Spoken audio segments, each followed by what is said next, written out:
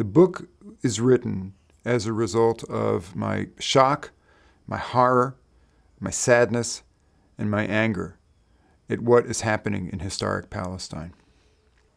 What I saw in the West Bank on that summer was my people in my name, supposedly to keep me safe, dispossessing and humiliating another people. I saw that it had been going on for generations. I saw that it was continuing. I saw that there were no brakes on it. And I realized that is why there is no peace. I knew that until we Jews looked in the mirror, saw what we were doing, and decided to stop that, that there would never be peace, there would never be security for my family in Israel, there would never be justice for the Palestinians who have lost their land and are being driven off their ancestral farms. I saw all that. I realized it had to change.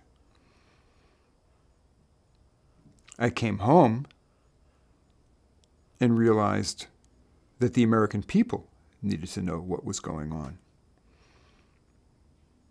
That's why I wrote the book. I really didn't know what to do as a result of that experience. It was pretty shattering.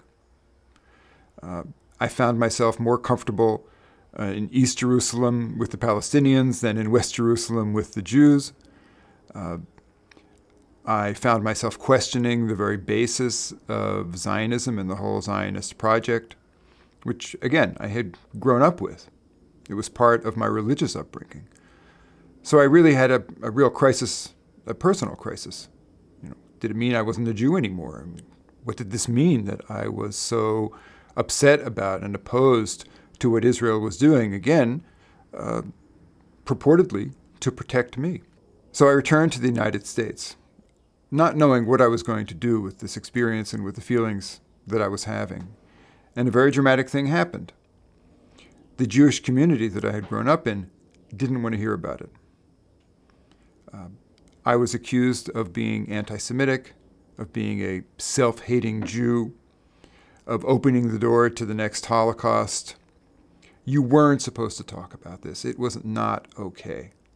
But then something else happened. Again, very dramatic and to me, very surprising. I started to speak in front of Christian groups and in churches. And the doors flung open. Christians wanted to hear about this. I was talking about Palestinians being oppressed, being driven off their lands, uh, not know, not having full civil rights in their society, and for Christians this was a no-brainer. Well, we have to do something about it. There was only one problem. For the last 60 years, since World War II, Christians here in the United States and probably across the rest of the world have been involved in a very, very purposeful, very committed, very passionate project to reconcile with the Jewish people for 2,000 years of anti Semitism that resulted in the Nazi Holocaust.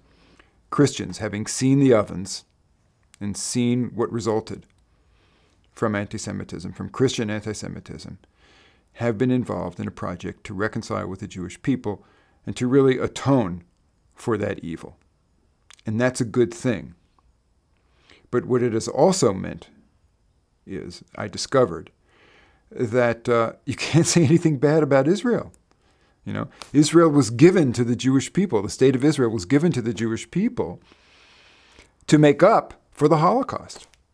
In fact, to make up for 2,000 years of dispossession and getting kicked around by the rest of the world. So, how can you now say to the Jewish people, well, uh, everything is not right with Israel? You shouldn't be doing that. You need to withdraw from those territories. You need to live in peace with the Palestinians. You need to be fair to them. You need to let them go back to their homes that they were kicked, that you kicked them out of in 1948. You can't say that. So as a Jew, I'm coming to the church and I'm saying, you know what? I love Israel. My grandfather was born in Israel. Half my family lives there. I think it's a terrific place, and I am heartbroken about what's happening to it. And I am telling you that if you really want to be friends to the Jewish people, call Israel to account. It is not anti Semitic to do that. Until we confront the Christian reluctance to challenge Israel or to say anything to Jews besides, we're really sorry and we really want to make this up to you, we're not going to get anywhere in this country in changing United States policy toward Israel and in making peace with the Middle East. And so I wrote four chapters about that.